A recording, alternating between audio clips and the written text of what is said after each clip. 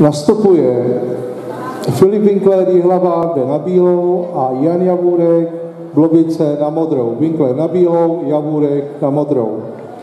Pojď se připraví Ondřej Trhoň, Praha a Jindřich Pabiška, Jablonec a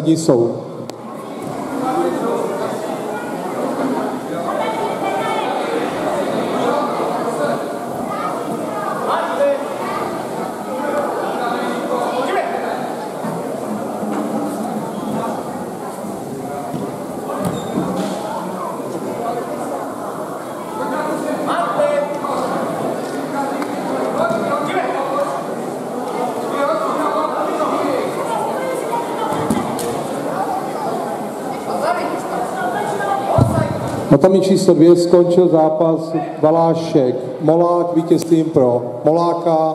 Za 10 děkuji. Nastupují